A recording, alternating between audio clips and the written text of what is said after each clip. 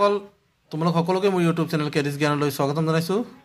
আজিৰ ভিডিঅ'টোত মই কুৱেশ্যন নম্বৰ নাইনৰ পৰা আৰম্ভ কৰিম য'ত প্ৰশ্নটো দিছে পি বাই কিউ আৰ্হিৰ ভগ্নাংশত প্ৰকাশ কৰা। অৰ্থাৎ আমাক কিছুমান ৰেকাৰিং ডেচিমেল নাম্বাৰ দিয়া আছে। অৰ্থাৎ non terminating recurring decimal number বা ৰিপিটিং ডেচিমেল নাম্বাৰ দিয়া আছে।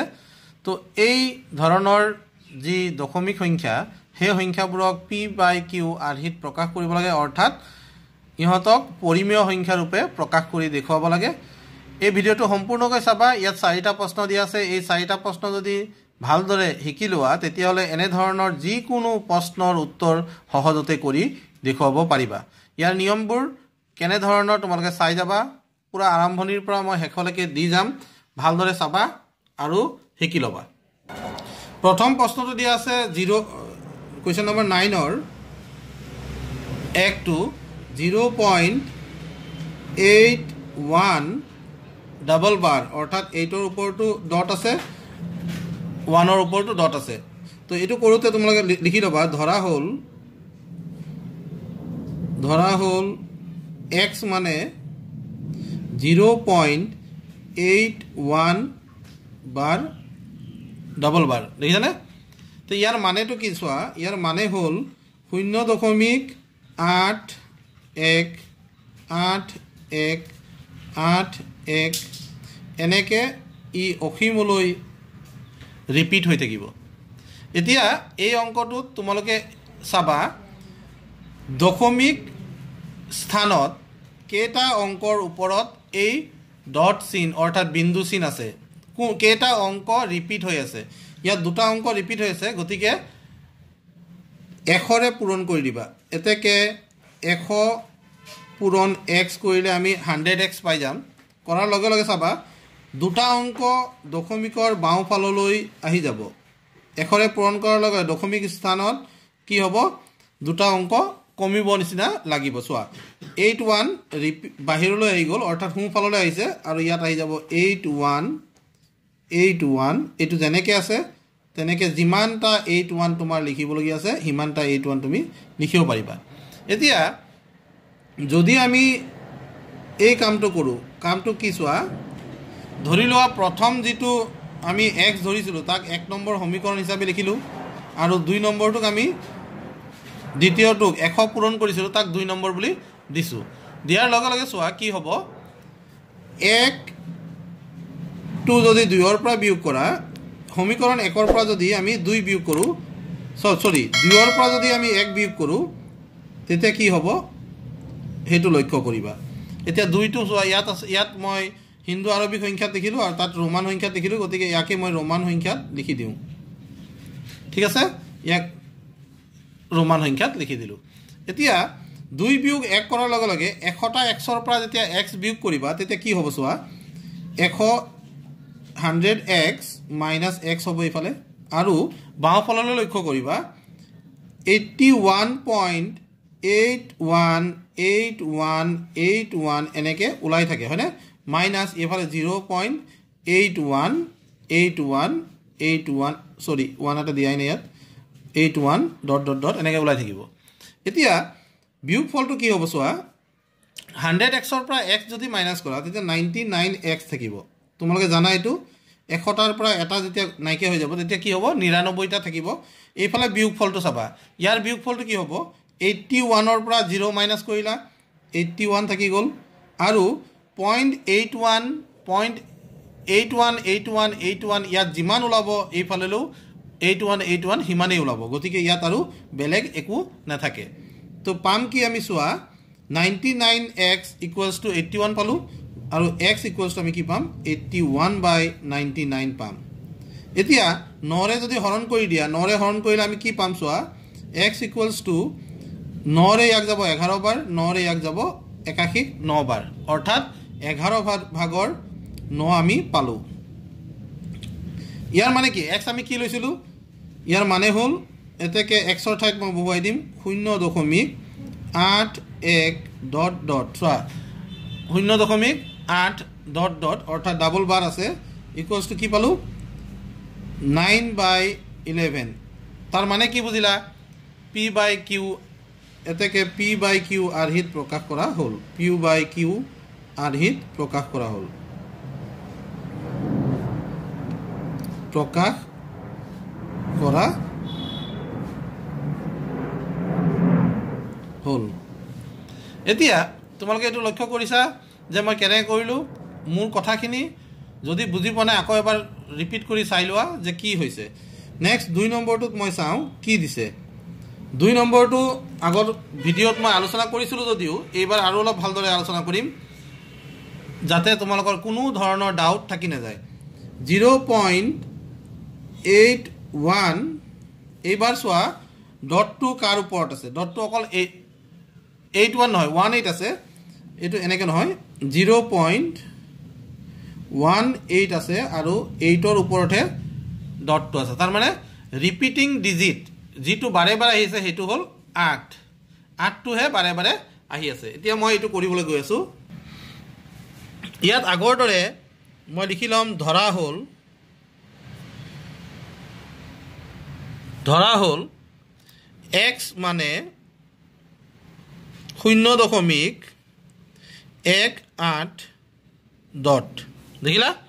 ইয়াৰ মানেটো তোমালোকে বুজি পাইছা যে ইয়াৰ মানে হ'ল ই শূন্য দশমিক এক এই আঠ যিটোৰ ওপৰত এই ফুট চিনটো আছে বিন্দু চিনটো আছে এই আঠটো বাৰে বাৰে ৰিপিট হ'ব বা আহিব।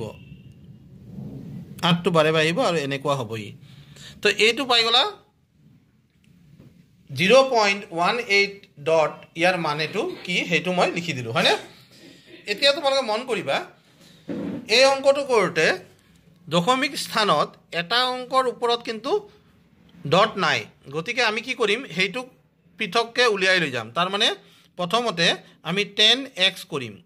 টেন ইনটু এক্স কৰিম কৰাৰ লগে লগে কি হৈ যাব চোৱা এই যে যাৰ ওপৰত বিন্দু চিনটো নাই যিটো অংক ৰিপিট হোৱা নাই সেই ৰিপিট নোহোৱা অংকটো ওপৰলৈ মানে বাহিৰলৈ বাওঁফাললৈ আহি যাব। লগে লগে ইয়াত আহি যাব এইট এইট এইট এনেকৈ আহি থাকিব। আৰু এইবাৰ মই ইয়াক এক নম্বৰ বুলি চিন কৰিলোঁ চিহ্নিত কৰিলোঁ। এতিয়া নেক্সট আকৌ এটা ষ্টেপত কি কৰিম? যাৰ ওপৰত বিন্দুটো আছে তাক আৰু তাৰ আগৰ অংক দুয়োটাকেই কি কৰিম? উলিয়াবলৈ চেষ্টা কৰিম। তাৰমানে এইবাৰ আমি এশৰে পূৰণ কৰিম। এশৰে পূৰণ কৰাৰ লগে লগে ওৱান আৰু এইট দুয়োটাই বাহিৰলৈ আহি যাব। ওৱান আৰু এইট দুয়োটাই বাহিৰলৈ আহি যাব আৰু ইয়াত থাকি যাব এইট এইট এইট যিমান ইচ্ছা সিমান লিখিব পাৰা। কিন্তু ইমান লিখাৰ দৰকাৰ নাই। আমি এনেকুৱা পাম। এইবাৰ আমি কি কৰিম? দুই নম্বৰ আৰু এক নম্বৰ কি কৰিম? বিয়োগ কৰিম। দুই নম্বৰৰ পৰা এক নম্বৰ বিয়োগ কৰিম। গতিকে লিখিম এতিয়া দুই বিয়োগ এক কৰি পাওঁ। কি পাম চাবা? পৰা দহ গ'ল থাকিল কিমান? নব্বৈটা এক্স আৰু এইফালে ওঠৰৰ পৰা এক গ'ল থাকিল সোতৰ।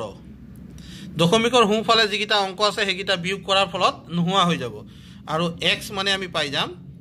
Seventeen by ninety therefore তাৰ মানে হ'ল যে শূন্য দশমিক এক আঠ ওপৰত ডটটো দি দিবা তাৰ মানে হৈ যাব ছেভেণ্টিন বাই নাইণ্টি আৰু তোমালোকে লিখিবা যে পি বাই কিউ আৰ্হিত প্ৰকাশ কৰা হ'ল। সেইটো তোমালোকে লিখি দিবা এই কথাখিনি ইয়াৰ তলত লিখি দিবা।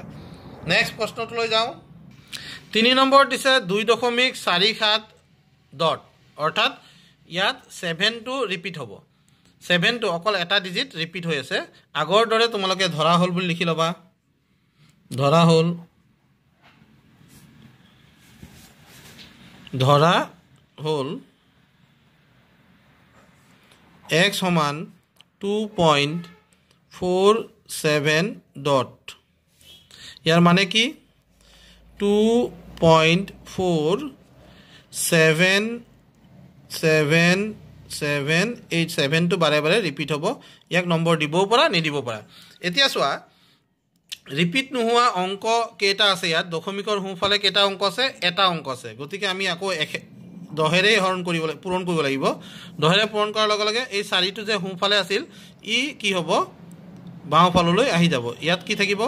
Seven seven seven dot dot dot আৰু এইটোক এক নম্বৰ বুলি মই কৈ দিলোঁ। আগৰ অংকটোৰ লগত একে প্ৰায় একেই। তোমালোকে একো চিন্তা কৰিব নালাগে। নেক্সট আমি কিহেৰে পূৰণ কৰিম? যিহেতু দুটা অংক আছে ইয়াত চোৱা দশমিকৰ সোঁফালে দুটা অংক আছে দুয়ে এশৰে পূৰণ কৰিম। এশৰে পূৰণ কৰাৰ লগে লগে কি হ'ব? এই ছেভেন ছেভেনটো বাহিৰত আহি যাব। টু ফ'ৰ ছেভেন পইণ্ট কি হৈ যাব? Seven seven seven dot dot dot আৰু এইটোক মই দুই নম্বৰ সমীকৰণ বুলি নামকৰণ কৰিলোঁ। এতিয়া আগতে কৰাৰ দৰেই দুই নম্বৰ সমীকৰণৰ পৰা দুই নম্বৰ সমীকৰণৰ পৰা মই এক নম্বৰটোক বাদ দিম। দুই নম্বৰৰ পৰা এক নম্বৰ বাদ দিয়াৰ লগে লগে কি হৈ যাব?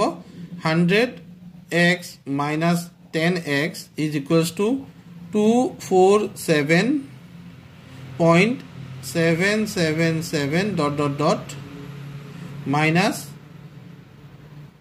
two four point seven seven seven dot dot dot. এনেকৈ মাইনাছ হ'ব। মাইনাছ হোৱাৰ লগে লগে চোৱা কি হ'ব ইয়াত? এশটাৰ পৰা যেতিয়া দহটা যাব তেতিয়া নব্বৈটা থাকি যাব। নাইণ্টি এক্স হৈ যাব। আৰু চোৱা দুশ সাতচল্লিছৰ পৰা চৌব্বিছ বাদ দিবা। সাতৰ পৰা চাৰি গ'ল থাকিল তিনি। চাৰিৰ পৰা দুই গ'ল থাকিল দুই। আৰু ইয়াত আছে দুই। দুশ তেইছ থাকিব। আৰু দশমিক সাত সাত সাত এইবোৰ কি হ'ব? বিয়োগ কৰাৰ ফলত নোহোৱা হৈ যাব। এতিয়া আমি কি পাম? এক্স মানে আমি পাম টু টু থ্ৰী অৰ্থাৎ two hundred twenty three divided by ninety পাই যাম। যদি হৰণ কৰিব পাৰি হৰণ কৰি দিম আৰু হৰণ কৰিব নোৱাৰিলে যেনেকৈ আছে তেনেকৈ আমি ৰাখি দিম।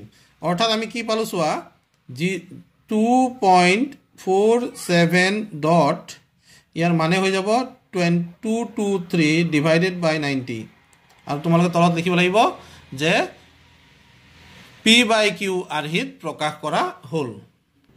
এতিয়া এই ন নম্বৰ প্ৰশ্নৰ একেবাৰে শেষৰ চাৰিটো চাৰিটোত দি আছে two point four four three dot one dot তাৰমানে কি ইয়াত দুটা অংকৰ ওপৰত আকৌ বাৰ আছে আৰু দুটা অংক কি আছে অকলে আছে। এতিয়া মই কি কৰিলোঁ যিহেতু দশমিকৰ সোঁফালে দুটা অংকৰ ওপৰত কি নাই বিন্দু চিনটো নাই মানে ৰিপিট হোৱা নাই। গতিকে আমি ইয়াত কি কৰিব লাগিব অলপ বেলেগ হ'ব। কি বেলেগ হ'ব? ধৰা হ'ল এক্স মানে two point four four dot ইয়াৰ মানেটো কি চোৱা? ইয়াৰ মানে হ'ল two point four four three one three one three one এইটো ৰিপিটিং ডিজিট দেখিছেনে? কোনকেইটা ৰিপিট হৈ আছে? থ্ৰী ওৱান যাৰ ওপৰত বিন্দু আছিল সেইকেইটা ৰিপিট হৈ আছে। এতিয়া চোৱা দশমিকৰ সোঁফালে যিহেতু দুটা অংক ৰিপিট হোৱা নাই ৰিপিট নোহোৱাৰ কাৰণে মই এশৰে পূৰণ কৰিম। আগতে এটা অংক ৰিপিট হোৱা নাছিলে সেইকাৰণে মই দহেৰে পূৰণ কৰিছিলোঁ এইবাৰ মই কি কৰিম? এশৰে পূৰণ কৰিম। কৰাৰ লগে লগে কি হ'ব চোৱা? টু পইণ্ট ফ'ৰ ফ'ৰ আছিল নহয়? Two four four point three one three one three one এনেকৈ থ্ৰী ওৱানটো ৰিপিট হ'ব আৰু এইটোক মই এক নম্বৰ সমীকৰণ হিচাপে লিখি দিম। নেক্সট চোৱা এইবাৰ যেইটা ডিজিট ৰিপিট হৈছে কেইটা ডিজিট দুটা। আৰু আগতে আছিল দুটা। দুটা দুটা কেইটা হ'ল? চাৰিটা। এইবাৰ মই দহ হাজাৰেৰে মুঠতে চাৰিটাত অংক আছিল গতিকে একৰ পিছফালে চাৰিটা অংক দি চাৰিটা শূন্য দি পূৰণ কৰিম। কৰাৰ লগে লগে কি হৈ গ'ল? টেন থাউজেণ্ড এক্স সমান কি হৈ যাব চোৱা? টু ফ'ৰ ফ'ৰ এই থ্ৰী ওৱানটো বাহিৰত আহি যাব। থ্ৰী ওৱানটো বাহিৰত আহি গ'ল। আৰু এইফালে কি থাকিল? দশমিক তিনি এক তিনি এক তিনি এক এনেকৈ এইটো ৰিপিট হৈয়ে থাকিব। এইটোক মই দিলোঁ দুই নম্বৰ বুলি। তো তোমালোকৰ ডাউটবিলাক ক্লিয়াৰ হৈছে নাই মোক কমেণ্টত জনাবা। এই অংককেইটা কৰাৰ পিছত তোমালোকে জানিবই লাগে এইটো গোটেইখিনি পাৰি যাব বুলি মই ভাবোঁ। এতিয়া কি কৰিম? এতিয়া বুলি আগৰ নিচিনাকৈ লিখিম এতিয়া দুই নম্বৰ সমীকৰণ বিয়োগ এক নম্বৰ সমীকৰণ কৰিম কৰাৰ লগে লগে কি হ'ব চোৱা? দহ হাজাৰৰ পৰা এশ গ'ল। কিমান থাকিব? মই প্ৰথমতে লিখি দেখুৱাই দিওঁ। দহ হাজাৰ এক্স বিয়োগ এশ এক্স। এইফালে কি থাকিব চোৱা? এইফালে two four four three one minus হৈ যাব টু ফ'ৰ ফ'ৰ। বাকীটো দশমিকৰ সোঁফালৰ অংকবিলাক নোহোৱা হৈ যাব সেইকাৰণে মই লিখা নাই।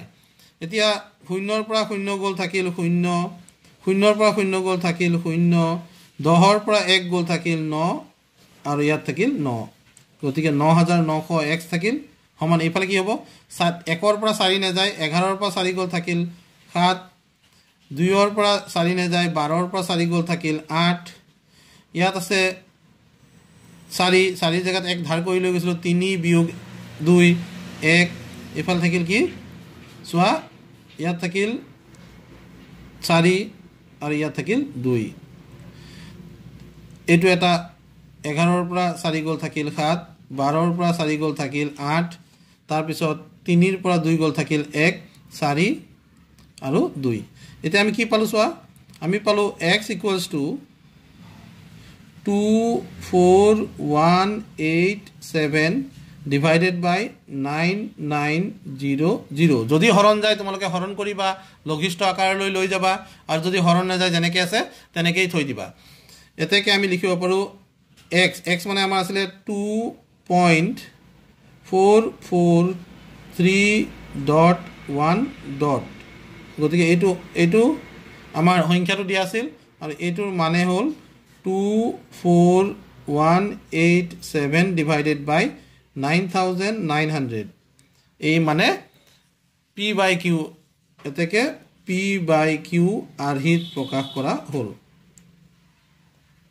আৰ্হিত প্ৰকাশ কৰা হ'ল। ছাত্ৰ ছাত্ৰীসকল এয়া ন নম্বৰ প্ৰশ্ন মই তোমালোকলৈ আগবঢ়ালোঁ। যিহেতু ভিডিঅ'টো দীঘল হৈ গৈয়ে থাকে সেইকাৰণে ন নম্বৰতে মই আজি সামৰি দিছোঁ। দহ নম্বৰ প্ৰশ্নৰ প্ৰত্যেকটো প্ৰশ্ন তোমালোকৰ লগত আলোচনা কৰিম। মই জানো তোমালোকৰ লগত গোটেইখিনি প্ৰশ্ন আলোচনা কৰাৰ দৰকাৰ নাই যদিও কিছুমান এনেকুৱা ছাত্ৰ আছে যিসকলক আটাইখিনি আলোচনা কৰিব লাগে কাৰণ তেওঁলোকৰ সকলোৰে টিউশ্যন লোৱাৰ সুবিধাটো নাথাকে। টিউশ্যন লোৱাৰ পাৰে যদিও টিউশ্যন দূৰত থাকে। গতিকে এই যাতে তেওঁলোকৰ যাতে সহায়ক হয় সেইবুলিয়ে ভিডিঅ'টো একেবাৰে ডিটেইলছত বনাবলৈ চেষ্টা কৰিছোঁ আৰু এনেধৰণৰ ভিডিঅ' মই ভৱিষ্যতেও তোমালোকলৈ প্ৰেৰণ কৰি থাকিম। এই বছৰ যিমান সোনকালে পাৰোঁ ক্লাছ নাইনৰ এই মেথছ বুকখন কমপ্লিট কৰি দিম যাতে তোমালোকৰ টিউশ্যনৰ বাহিৰেও ইয়াতে শিকি তোমালোকৰ বহুতখিনি আগুৱাই যাব পাৰা। তো সকলোকে ধন্যবাদ জনাই। আজিৰ ভিডিঅ'টো সামৰিছোঁ। কেৱল এটাই অনুৰোধ যে তোমালোকে ভিডিঅ'বোৰ চাই যদি বুজি নোপোৱা এটা কমেণ্টত জনাবা বা মোৰ মোবাইল নম্বৰ ডেছক্ৰিপশ্যনত দিয়া আছে তোমালোকে মোক ফোন কৰিও জনাব পাৰা। ধন্যবাদ।